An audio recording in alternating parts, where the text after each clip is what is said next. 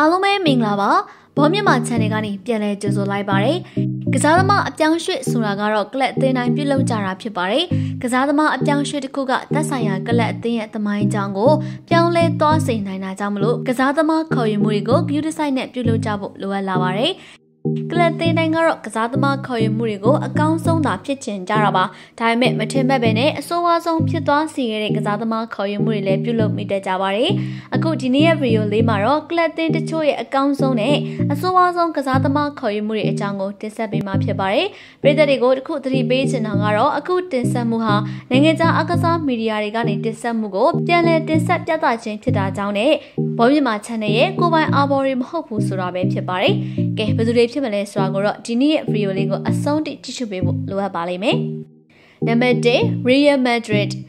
Real Madrid ဆိုတာကကမ္ဘာပေါ်ကအကောင်းဆုံးဆိုတဲ့ကစားသမားတွေကိုမှရွေးချယ်ခေါ်ယူလို့ရှိတဲ့ကလပ်အသင်းကြီးတစ်ခုပဲဖြစ်ပါတယ်။ ဒီစတီဖာနိုခင်မာသည်စီဒန်ဖီကိုရိုနယ်ဒိုတို့အထိဒေဒီချင်းကစားသမားတွေကိုရွေးချယ်ခေါ်ယူခဲ့တာလည်းဖြစ်ပါတယ်။ဒါပေမဲ့တမိုင်းတခြားအကောင်းဆုံးခေါ်ယူမှုလို့တတ်မှတ်ရမယ့်ကစားသမားတစ်ယောက်လည်းရှိခဲ့ပါတယ်။သူကတော့2009ခုနှစ်မှာမန်ယူအသင်းကနေခေါ်ယူခဲ့တဲ့တိုက်စစ်မှုစီရိုနယ်ဒိုပဲဖြစ်ပါတယ်။ စီရိုနယ်ဒိုကရီယယ်မက်ဒရစ်မှာ800တိကျကစားပေးခဲ့ပြီးအသင်းအတွက်ချန်ပီယံလိ၄ချိန်အပါအဝင်စူပလာပေါင်း16လုံးအတိအကျအရယူပေးခဲ့တာပါ။ရီယယ်မက်ဒရစ်ကထောက်ခါလာချိန်မှာတော့စီယိုနယ်တို့ကအသင်းသမိုင်းတလျှောက်ဂိုးသွင်းအများဆုံးသူဖြစ်တွင်ကိုပေါင်း459နဲ့စံချိန်တင်ထားခဲ့ပါတယ်။ရီယယ်မက်ဒရစ်ရဲ့အဆိုးဝါးဆုံးကစားသမားခေါ်ယူမှုဖြစ်သတ်မှတ်သွားနိုင်မယ့်ကစားသမားတစ်ယောက်ဖြစ်စတင်ပွဲထွက်ခွင့်ရတဲ့ပွဲမှာပဲ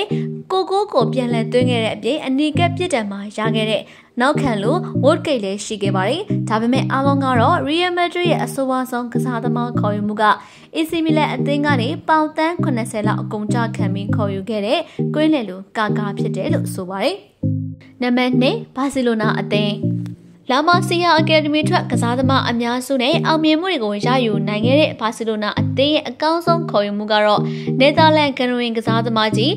ဂျိုဟန်ခရပ်ပဲဖြစ်ပါတယ်ဂျိုဟန်ခရပ်အနေနဲ့ဘာစီလိုနာအသင်းနဲ့တူဥရောပဖလား၃ချိန်စတိုက်ရရှိအောင်လို့ဦးဆောင်ပေးနိုင်ခဲ့တဲ့အပြင်တီကီတာကာကိုပေါ်ထွန်းလာစေခဲ့တဲ့ဟိုတယ်ဖုတ်ဘောကစားဟန်ကိုပါတီထွင်နိုင်ခဲ့သူဖြစ်ပါတယ်ဘာစီလိုနာအသင်းရဲ့အဆိုးအဆုံးကစားသမားခေါ်ယူမှုကတော့နီးပြဘက်ကွာဂျီယိုလာလက်ထက်မှာခေါ်ယူခဲ့တဲ့ဒီမီထရိုချီခရစ်စကီပဲဖြစ်ပါတယ်အဆိုပါယူကရိန်းနောက်ခံလူဟာကွာဒီယိုလာစိတ်ကြိုက်ပေါင်တန်း30အထိပေးပြီးခေါ်ယူခဲ့တဲ့ကစားသမားဖြစ်ပေမဲ့လည်းနေကွေးလေးလံမှုတို့ကတော့ပြိုင်ဘက်ကိုတော့မှပက်နတီပြစ်ဒဏ်ပေါ်များစွာပေးခဲ့ရပါတယ်ဒီမီထရိုဂျီခရစ်စကီအနေနဲ့ဘာစီလိုနာမှာတရားသီတာကစားပေးနိုင်ခဲ့ပါတယ်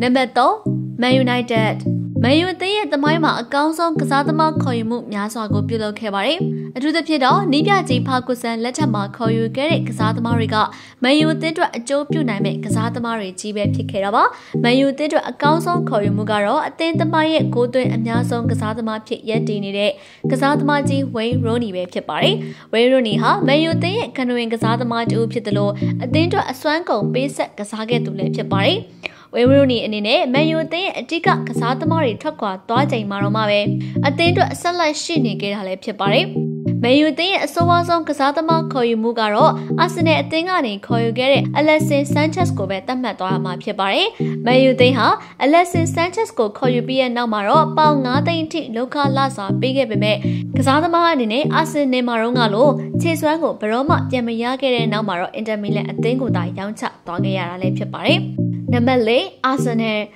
အာဆင်နယ်အသင်းရဲ့ကစားသမားခေါ်ယူမှုတွေအနက်အကောင်းဆုံးကိုဆွဲထုတ်ရမယ်ဆိုရင်တော့ဂျူပီတက်အသင်းကနေခေါ်ယူခဲ့တဲ့တိုက်စစ်မှုအော်နရီကိုခေါ်ယူရမှာပဲဖြစ်ပါတယ်။အော်နရီအနေနဲ့ဂျူပီတက်အသင်းမှာခြေစွမ်းပြသနိုင်ဖို့ရုန်းကန်ခဲ့ရပေမဲ့လည်းအာဆင်နယ်အသင်းကိုရောက်ရှိလာခဲ့အပြီးမှာတော့ကမ္ဘာအကောင်ဆုံးတိုက်စစ်မှုတူဖြစ်လာတဲ့အပြင်အသင်းအတွက်လည်းစူပလာများစွာရယူပေးနိုင်ခဲ့ပါတယ်။ အာဆင်နယ်အသင်းအတွက်အော်နရီကဂိုးသွင်းအများဆုံးသွင်းသူအဖြစ်228ဂိုးနဲ့စံချိန်တင်ထားတာဖြစ်ပါတယ်။အာဆင်နယ်အသင်းသမိုင်းတစ်လျှောက်မှာအထင်ကြီးအောင်မြင်မှုမှတ်တမ်းတွေဟာအော်နရီရဲ့ခေတ်မှာပေါ်ထွန်းလာခဲ့တာကြောင့်အော်နရီကိုတော့အာဆင်နယ်အသင်းရဲ့အကောင်းဆုံးခေါ်ယူမှုဖြစ်ချွင်းချက်မရှိသတ်မှတ်သွားရမှာဖြစ်ပါတယ်။အဆိုပါဆုံးကစားသမားခေါ်ယူမှုအဖြစ်တော့မကြသေးမီကမှတူရကီကလပ်ဖီနာပါချီကိုအလွတ်ပြောင်းရွှေ့ခြင်းနဲ့ပြောင်းသွားခဲ့တဲ့ကွင်းလေလူ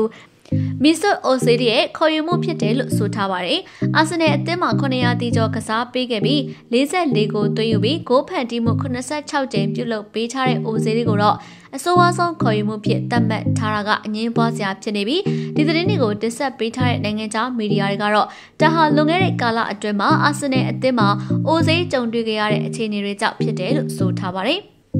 နံပါတ်5 Chelsea အသင်း Chelsea အသင်းဟာရုရှားရေနံတထိ Ibrahimovic ရဲ့ဒနာအင်အားနဲ့အတူအကောင်းဆုံးကစားသမားတွေကိုငွေပုံပေးခေါ်ယူပြီးတော့မှစူပလာတွေကိုစိန်ခေါ်နိုင်ခဲ့တဲ့အသင်းတစ်သင်းဖြစ်ပါတယ်။ Chelsea အသင်းကို Premier League ရဲ့လူယိုသေးရှင်ယိုသေးအသင်းဖြစ်လာစေခဲ့တဲ့ကစားသမားခေါ်ယူမှုတွေထဲမှာအကောင်းဆုံးခေါ်ယူမှုဖြစ်သတ်မှတ်ဖို့အတွက်တိုက်စစ်မှု Digia Drogba ရဲ့ခေါ်ယူမှုနဲ့ ကွင်းလယ်လူ Fred Lambert တို့ရဲ့ခေါ်ယူမှုနှစ်ခုကရှိနေခဲ့ပါတယ်။အဆိုပါကစားသမားနှစ်ဦးစလုံးကတော့ Chelsea အသင်းရရှိလာခဲ့တဲ့စူပလာအောင်မြင်မှုအများစုမှာပါဝင်ပတ်သက်နေကြပြီး Chelsea သမိုင်းကိုလည်းပုံမတင့်တယ်စေခဲ့တဲ့သူတွေဖြစ်ပါတယ်။ Chelsea သင်းရဲ့အဆိုးအဆုံးကစားသမားခေါ်ယူမှုကိုတော့အသင်းပိုင်ရှင် Ibrahimovic ရဲ့ထောက်ခံမှုနဲ့ AC Milan အသင်းကနေခေါ်ယူလာခဲ့တဲ့ Andrei Shevchenko ပဲဖြစ်ပါတယ်။ရှက်ချန်ကိုအနေနဲ့ AC Milan အသင်းမှာတော့ကဥရောပရဲ့ကြောက်စရာအကောင်းဆုံးတိုက်စစ်မှုတစ်ဦးဖြစ်ရှိနေခဲ့ပေမဲ့ Chelsea အသင်းကိုရောက်လာတဲ့အချိန်မှာတော့အဆိုးအဆုံးခြေစွမ်းပိုင်ရှင်တစ်ယောက်ဖြစ်သွားခဲ့ပါတယ်။